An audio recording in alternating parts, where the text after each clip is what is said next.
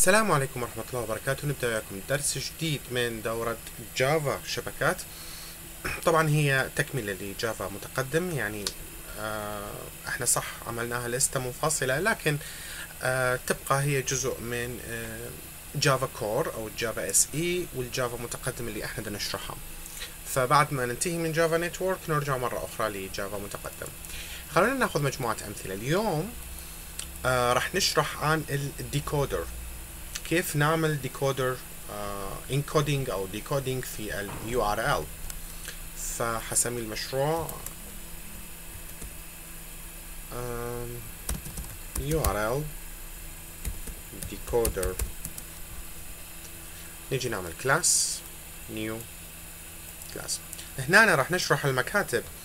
آه، طبعا أنت ممكن تاخذ هذا الكود ورأسا تلصقها في برنامجك يعني مو شرط إنه أني لما أعمل class وفيها أكواد بسيطة بمعنى إنه أنت حتتمسك في هذا الشيء. لا بالعكس.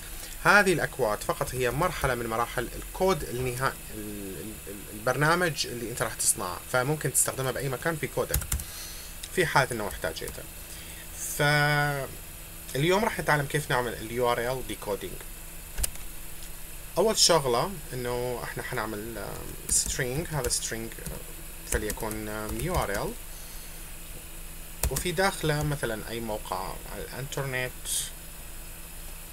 مثلا http double slash www dot عندك مثلا طبعا decode شنو هو؟ خلينا نجي هنا. فايرفوكس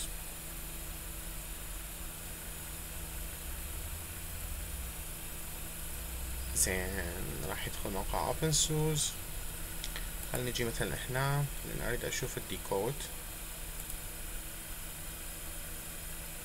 okay مثلا نضغط هذا الرابط. أوبس هذا يسوي داونلود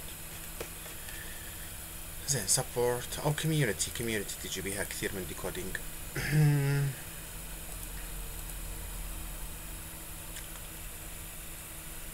الكونكت بس ليكون تسجيل لا. ليكون تسجيل خلينا نشوف هنا لينكس مان بدأ يطلع أي ديكود على حظكم. ال decode هاي اللي يطلع هنا بالمية عشرين بالمية هالشكل. يعني نسبة مئوية وعشرين. هذا هو ال decode بس هنا ما أعرف ليش بدي يطلع يعني. أتصور بال search ممكن يطلع يعني. جوجل. آه مثلا نسوي بحث عن wallpaper كتبت غلط عن wallpaper إذا نجي على ال image فلنفرض هذا الشكل.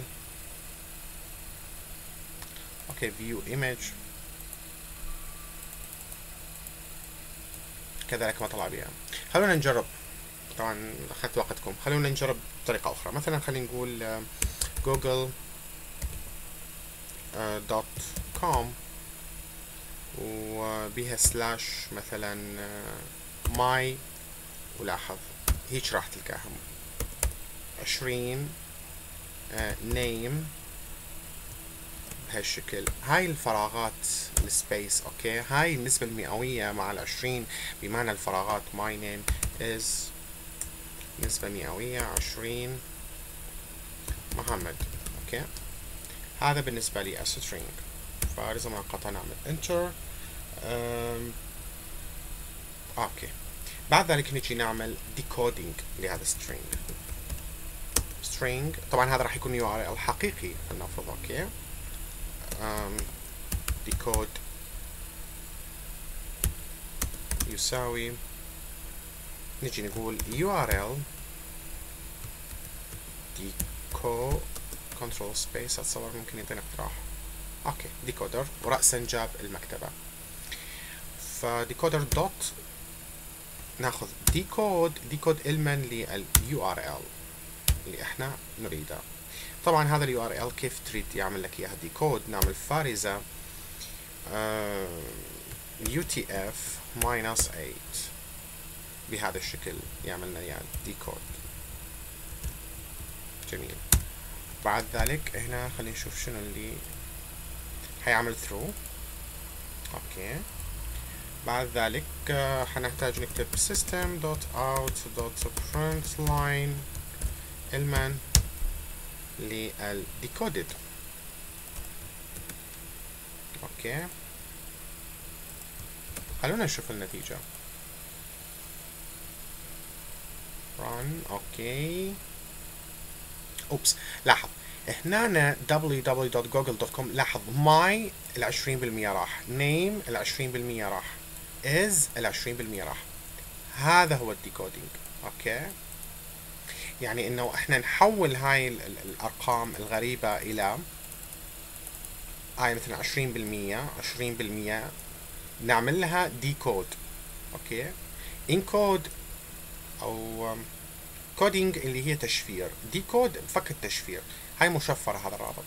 فحتى نفك التشفير اللي موجود فيها مجرد نعمل نأخذ string اللي هو الرابط آه بعد ذلك نجي طبعا ممكن هذا تستخدم هنا آه سكانر اللي أخذنا في جافا أساسيات. أنه تضع الرابط right click paste ورأسا هو يعمل لك decode له فيظهر بهذا الشكل. المسافات يرجعها مرة أخرى. زين خلونا نجرب آه، الطريقة الأخرى. مثلا هذا okay copy خلونا نجرب هذا الرابط. هو رابط حقيقي موجود. نجي نعمل له run. okay. لاحظ هنا آه.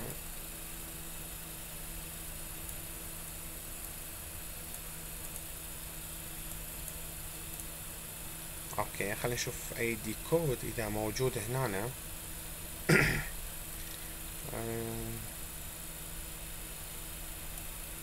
لاحظ فك ال... شوف هنا أنت عندك Android Central خلي هذا نرفعه لفوق وننزل للاسفل هذا لاحظ هنا. www Android لحد هنا it's okay. ما عندك مشكلة. بعد ذلك Android Central files style w okay public. okay هذا ما بيها. Wallpaper black دي title bot okay هذا ما بيها space. بس إحنا لو فرضنا انه إحنا نعمل بيها space for example يعني مثلا هنا هنا اكو space مثلا لاحظ بهذا الشكل 20 آه بعد ال style okay. لو جينا عملنا run من جديد لاحظ ترك مسافة. لا تلاحظ ترك مسافة. إذا هي decoding هنا في هذه الحالة تعمل مع أي روابط. الروابط اللي تحتوي على مسافات. يعني أنت لما تجي تكتب أو تصمم موقع هذا الموقع مثلا كان اسمه محمد space فراغ عيسى. لما طبعا أنت تعرضها حيعملها decoding المتصفح حيعملها decoding ويضيف رقم النسبة المئوية 20 okay؟ هذا يضيف له. المسافات هذا راح ينضاف له. لكن هنا ممكن إحنا نرجعها للقيمة الأصلية للحالة الأصلية خلينا نقول.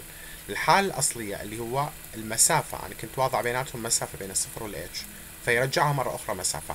طبعا هذا تفيد المبرمجين يعني أنه في حالة أنه يريد بدل ما يستخدم split okay إحنا إذا نريد نفصل